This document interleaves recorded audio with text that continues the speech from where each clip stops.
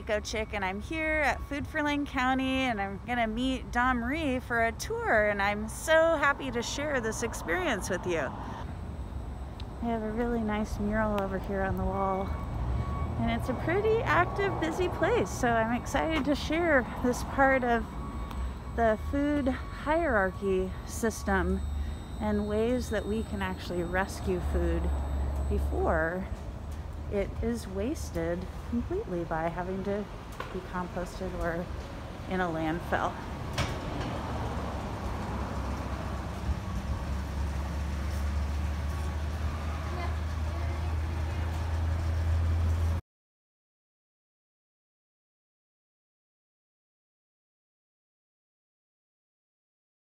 Hi, I'm Dawn Marie Woodward and I'm the Events and Media Relations Coordinator here at Food for Lane County, the area's regional food bank. We are one of 21 food banks in the state of Oregon. We all work under the Oregon Food Bank Network, um, which is a cooperative group, which means while we are a standalone organization, we also work cooperatively with the other food banks to help secure large donations. For instance, we have Franz Bakery here. A lot of places don't have access to bread. Fortunately, Franz gives us a lot of bread that we can not only share with people in Lane County, but we can also share it across the state of Oregon. And often an Oregon Food Bank truck will come from Portland, drop off some food to us, pick up some of the bread and take it down to Roseburg or Medford or further down the line. If they're headed north, they'll take it up to Albany, Corvallis, even Portland, where it gets sent out to other food banks around the state. So we've got a lot of businesses who help us in that way, in addition to what you guys do when you do school food drives. You are helping us, and we'll see some of what we're what you're doing when you do a food drive. We'll show you in the warehouse what happens to that food and where it goes. Okay, so come on and join us. We're going to take a little tour.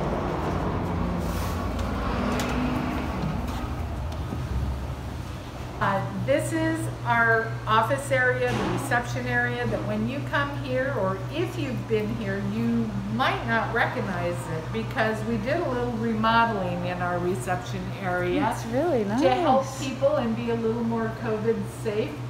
And so um, that will look different the next time you guys come out here. But the rest of the building is still the same. And we're gonna go into the kitchen. It's a 3,500 square foot kitchen and we do lots of things there. It's pretty noisy in there, so we're gonna talk about it here and then walk through it, okay? So in the morning, Meals on Wheels is working in there and we do about 400 meals a day um, with in the Eugene area. So we um, have about 400, 420 clients. Not everybody gets a meal every day, so we're probably actually doing around 350 to 400 meals a day in the kitchen. And then in the afternoon, we have um, volunteers that come in and they are preparing food. They're chopping onions and peeling potatoes and getting food components ready so we can um, make meals for the dining room and some of our other meal partners. That is food that is all rescued from grocery stores. We go in and we rescue from the meat deli, produce, bakery, and dairy, all the fresh stuff that if it's not sold by a certain date, the grocery store has to throw it away. But they will send it to us in a, by the time they have to sell it, there's still a lot of usable time to be able to eat that product. For instance, did you know if you had a container of yogurt in your refrigerator today and it said that it has today's expiration or sell by, it's not an expiration date, it's sell by today, what would you do with it? Would you throw it away tomorrow or would you eat it? Well, if yogurt has been properly stored, it is good to eat for 10 to 14 days after that sell by date. So that's the kind of things people aren't aware of sometimes. They think all those dates are expiration dates and means the food is going to kill them if they eat it, which is not true. So we last year rescued, in a typical year, not a COVID year, but in a typical year, we rescue about 2 million pounds of food that way every year that grocery stores could throw away in the back, you know, in the dumpsters, or they can send it to us. It's still perfectly good to eat. It's going to have a life in somebody else's kitchen. So that's what we do in the kitchen. And then we repack food as well. I hear it's kind of quiet, so now's a good time to walk through, okay? Right. So the, um, the commercial dishwasher makes it very noisy. You probably have a lot of rules around how clean it is, and especially during COVID, I would imagine Yes. it's even more intense. Yeah, um, we've just, you know, we keep a very clean kitchen and sanitize everything, but we have just doubled the amount of sanitation that we're doing. So, um, uh, yeah, that's what Yeah. we're doing. So this is a huge space. It really is. I mean, in normal times, we can accommodate like 30 volunteers in this space. Wow. But because of COVID, we have to scale way down on the number of people. Okay. Instead of having three or four people around a table, we can only have one person at the table and they have to be spread way out. Okay. So, All right. but they're all on wheels. We're getting some chicken ready. This has all been donated to us. Wow. Ready to um, cook off, and then the volunteers will probably debone it later today. Wow. So, and it'll go in soups or casseroles or other Okay. other meals. So. This is all the meals on wheels, meals that have been packaged up. These are the hot components of the meals.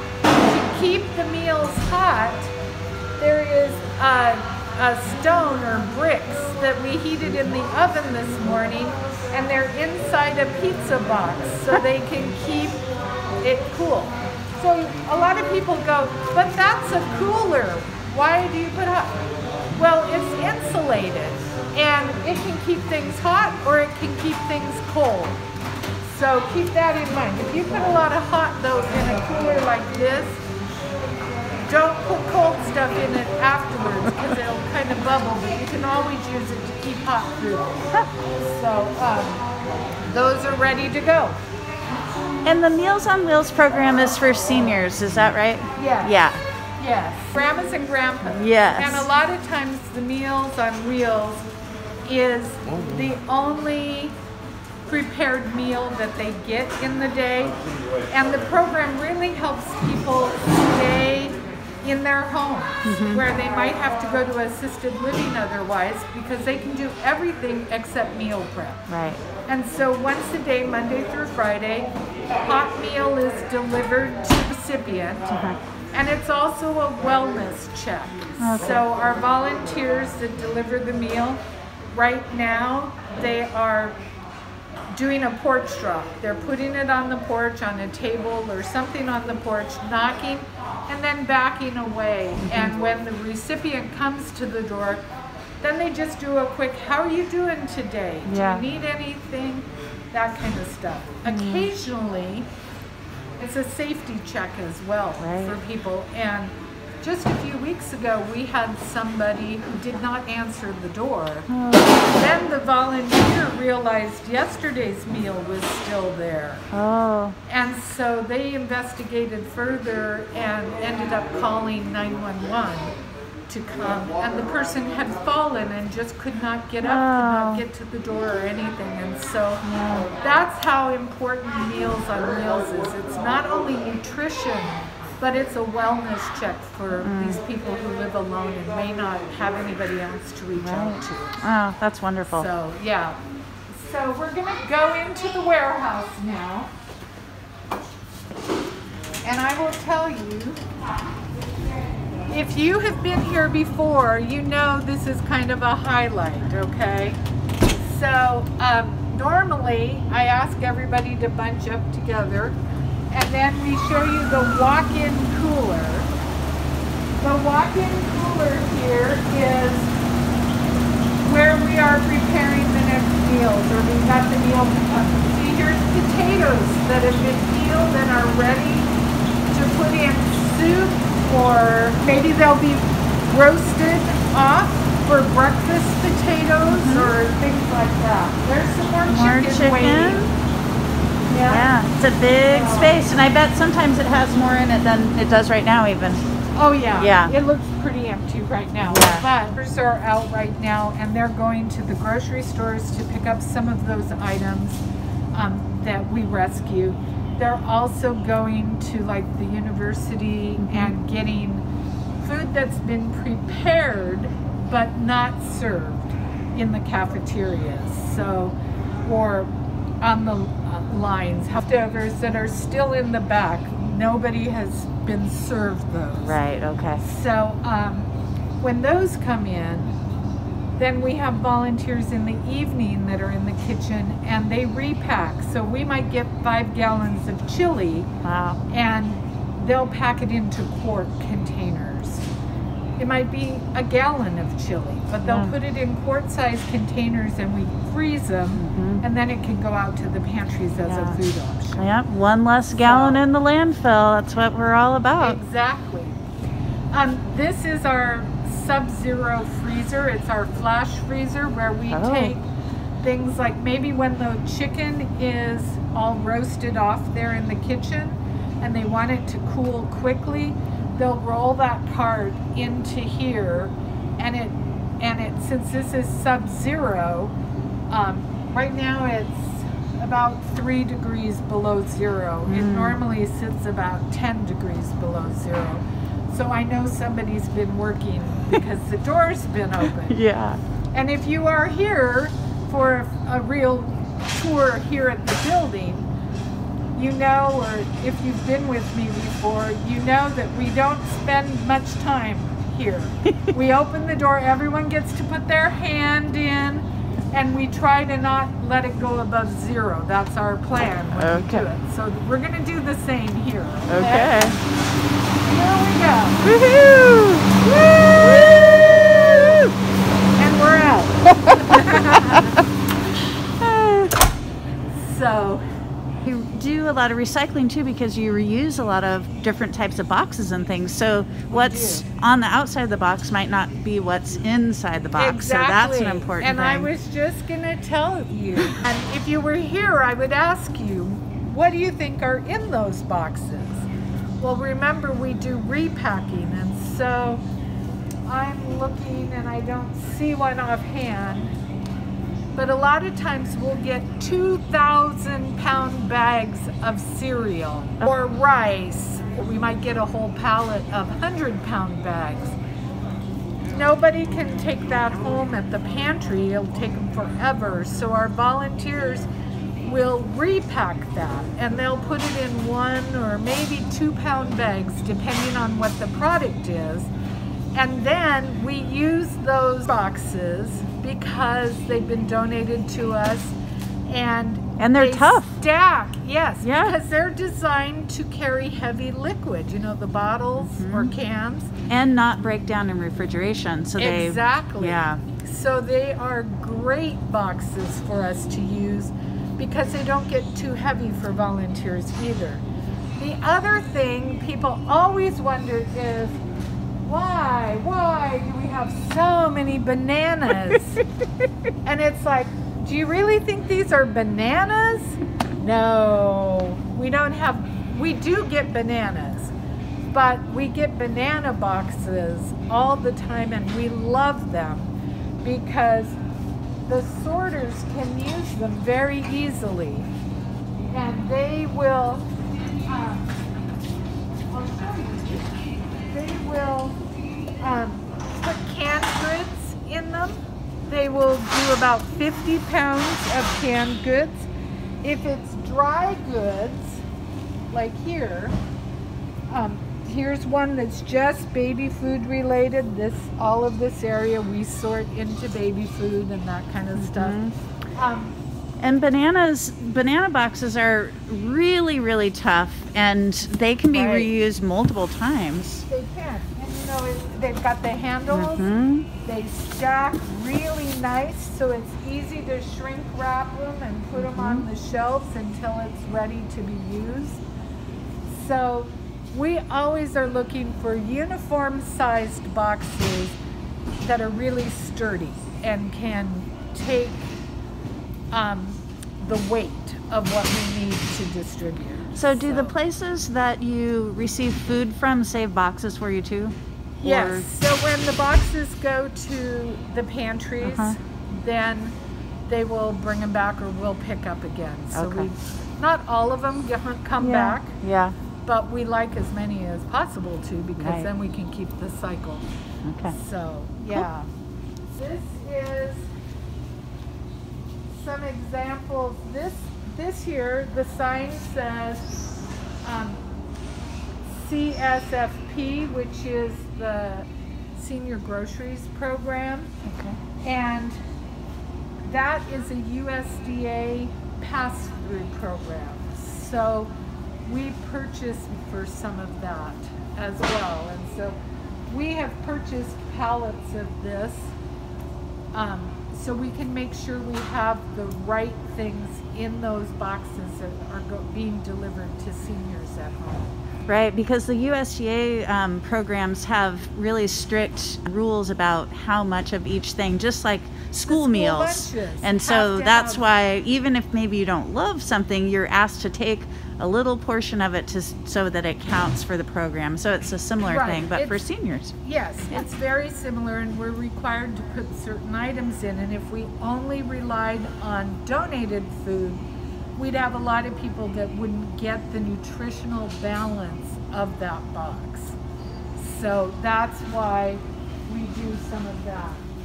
Surprisingly, because of COVID, you know, I, I've talked about we have so much food donated, but because a lot of our big food drives, the school drives, are not happening right now because you haven't been in the classroom, and that we really depend on to have that for the variety that we can put in.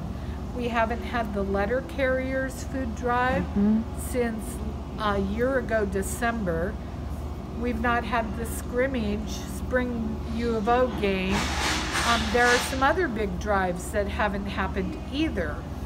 And because of that, we have not had enough food uh, given to us to meet all the need that is happening out in the community. Mm. So we've been taking donor dollars and buying food. And we don't typically buy food as a food bank, but in the last year we have bought a lot of food. And so we are very thankful for the people who have been able to give us money as donations Mm. to make up for that difference. So Perfect. Let's just walk on down through the warehouse here and um, It kind of reminds me of Costco, like it's, you It know? is. It is. It's, a warehouse. It is. Um, we sort, and this is our receiving warehouse. So food comes here, gets sorted, and then sent to our warehouse on West Broadway that is a um, distribution warehouse. The partner agencies, the food pantries and stuff used to come here Mhm. to pick all that up, but now they go to the other warehouse to pick up. Okay.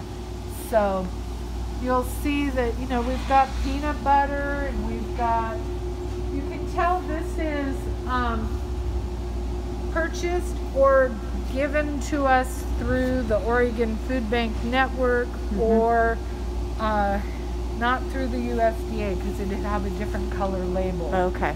But um, we've used this to signify, and the color of our labels signify that it's a purchased product. So we know what's donated and what's purchased. Okay. So, and that's why you can see cases of the same product. Right. So, otherwise, the donated product goes in the banana boxes. Okay. So- That makes sense. Yeah.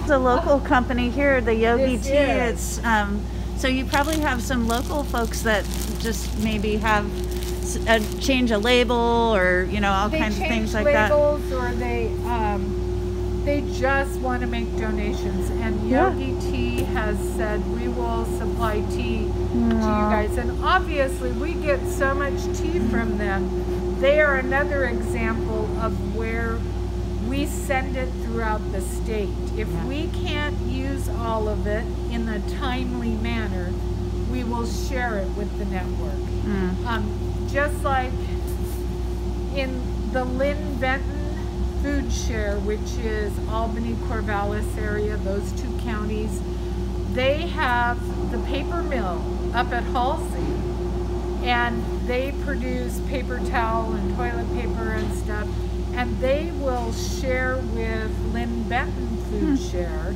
big pallets of it, and they know that what Linn Benton doesn't use, they will share with the network. Mm. And so we get paper products sometimes from them. That's nice. Well. Yeah. So it's a great cooperative, and now I think more states are looking at Oregon and going, wow, they share really well. They play nicely in the sandbox together.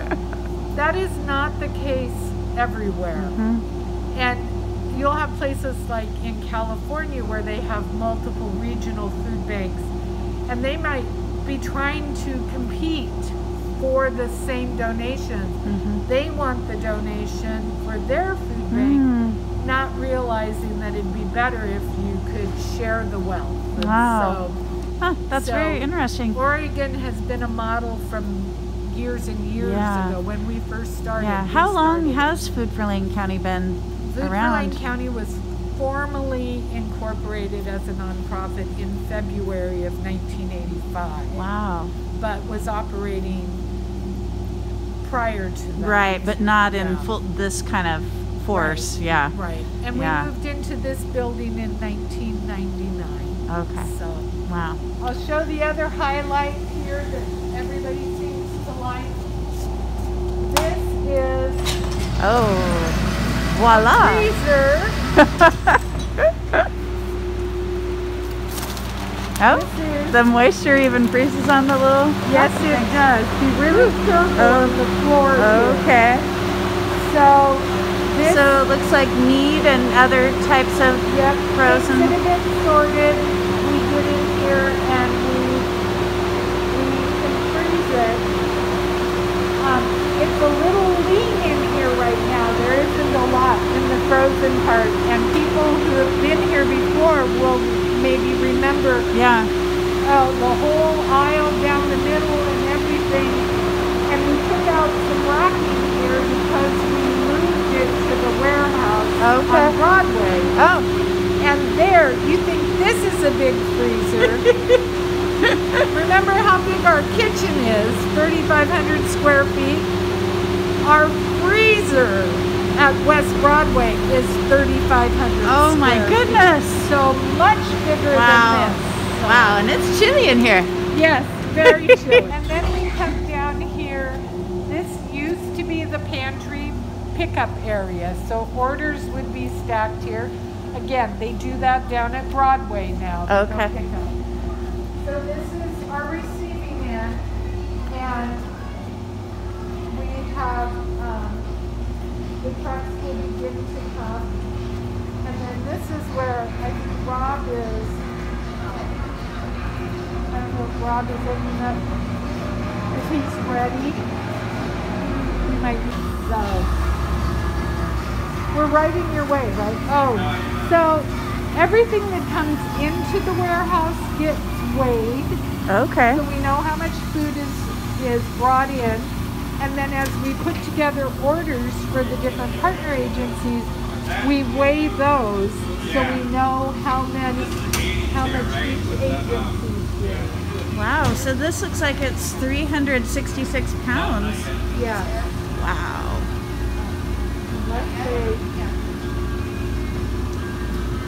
346. because they wow. to take off. oh, the pallet. pallet Yeah. Yeah, so just like when you buy things in bulk, they take the bag off or Yeah.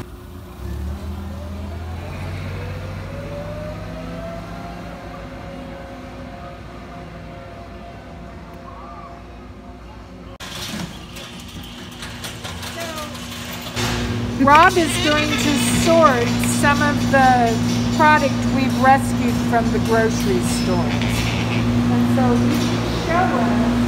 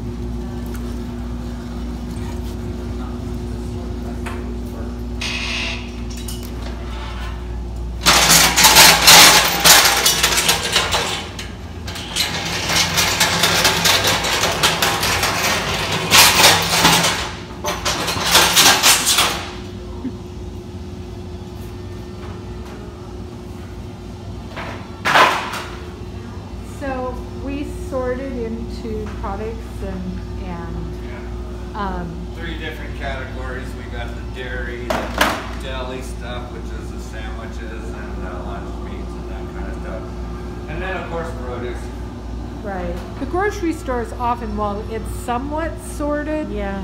they will just fill and put in where Right. they can. And so what he's doing is he's looking for freshness, making sure that it's going to survive.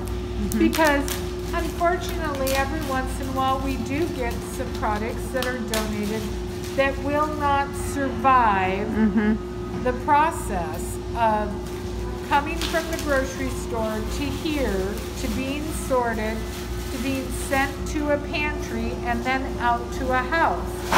And that takes several days in some instances. And we still want it when it gets to the house to be able to be used. Hmm. There's no point in someone going to a pantry and picking up food that they can't use over the next few days. So we're looking at that. So what happens with the stuff that we don't get to use?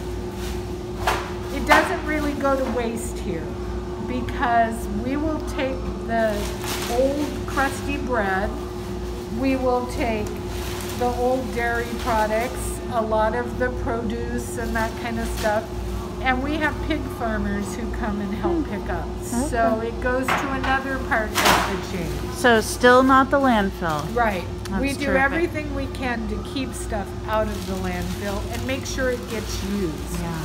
If it's donated to us, we want to make sure it goes to a good home. Right. So I've always said if the food bank throws it out, it is not safe. Nobody should try to eat it because if we choose that it's not even good to go to a pig, It's got to be it's pretty bad. be bad for some reasons. Yeah, So, okay. You know, So grocery stores have to go through a certain amount of this when they're receiving things, just even at that part of the when chain. it comes off the truck, Yeah. and they're making those same Right. And so there's waste at that level that isn't even maybe coming to this level. Exactly. Yeah. Oh, it's so amazing to think about So- all that food. Yeah. So you can see what he's he's sorting and and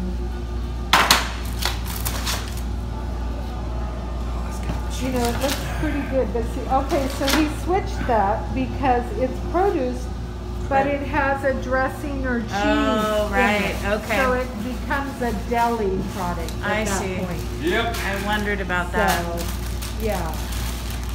Again, once he has sorted it, this will go over to West Broadway and they will um, load it, uh, assign it to pantries based on how they're loading.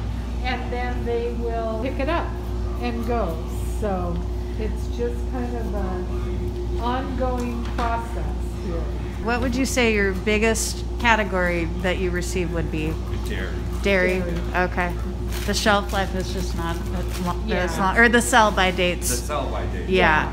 And Yeah. when we get here, we go by a, a week after the date on the milk and then two weeks after on the yogurts. We have a little system here, so. Right. Right, and there are USDA guidelines. Yes. Yes. And for food safety that Okay. we have to adhere to. If something comes in and it is not going to make it through the system to get to a home, we will pull it and give it to the pigs or otherwise if we need to. But a lot of the products are real usable, and I think one of the reasons I think the government puts a sell-by date on dairy and it's so particular is because how long it lasts past the sell sell-by date depends on how well it was taken care of in Yep. the supply chain.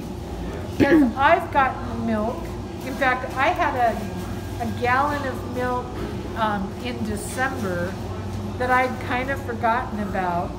And I was like, oh no, what am I going to do? And I was like, I did the sniff test because it was already like mm-hmm. five days past. It must have been really kept cool all the way mm-hmm. through because Maybe didn't have to travel as far. Exactly. yeah. Exactly. And it, you know, I think I used the last of it like 12 days after the Isn't that sell by date. Yeah. And then I was like, wow, I can't believe that. Hmm. Um, I've had other gallons of milk that that when I've opened it like three days before the sell by date. Yeah. you can tell it had already turned. That's our process and what we do and The best way to donate now would maybe be through cash donations. Um, are there other things that you could recommend if people want to help out? You know, if people want to volunteer, contact our volunteer coordinator, Dan Budd. We are not using as many volunteers as we have in the past just because of the COVID safety guidelines and the spacing we have to do. But there are definitely opportunities to volunteer, um, whether it's in the garden, the warehouse, the kitchen. And we have some events up in the fall and stuff that we know we'll be able to use volunteers for. We have all those opportunities still, just in a smaller number. Of course, food donations, canned, shelf-stable food is all, always welcome whether you're doing it at home and, and put a box in your pantry or in the kitchen or garage or something and you every time you go to the grocery store you buy a couple of cans for us and set it there and then bring it to a food drive or even just bring it to the warehouse we receive food here Great. so Okay, terrific. all of that helps Thanks so Thank much. you. Have fun, and I look forward to seeing you in person.